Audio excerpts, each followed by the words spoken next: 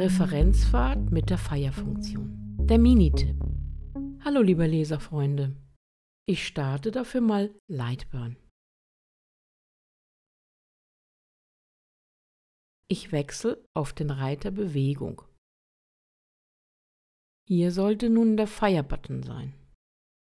Sucht man den vergebens, muss man ihn zuerst im Menü bearbeiten, in der Geräteeinstellung aktivieren. Unter dem Reiter Grundeinstellungen im Bereich Weitere Optionen den Punkt Laser-Feuerknopf aktivieren.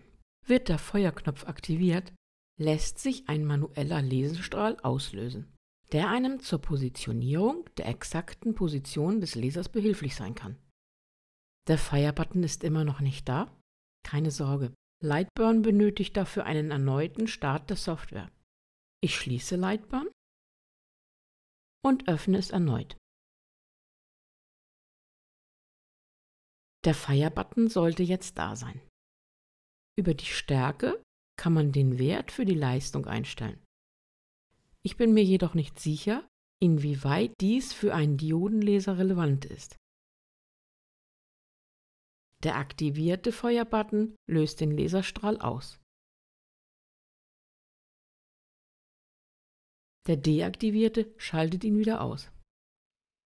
Wie man an der Stärkeneinstellung erkennen kann, besitzt der Laserstrahl immer einen positiven Leistungswert.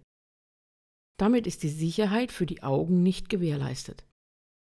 Über die Rechteckfunktion erzeuge ich mir ein solches. Im Reiter Laser setze ich das Starten von auf aktuelle Position. Startet man die Rahmenfahrt, sprich Referenzfahrt, zeichnet der Laserkopf bekanntlich die Außenmaße meines Rechtecks nach. Wird die Rahmenfahrt gestartet mit gedrückter und während der Fahrt gehaltener Shift-Taste, fährt der Laser den Rahmen zusammen mit der Feuerfunktion nach. Da die Fahrt ohne gehaltene Shift-Taste den Laserstrahl deaktiviert, lässt sich eine Rahmenfahrt mit Strahl während der Fahrt deaktivieren durch das Loslassen der Shift-Taste.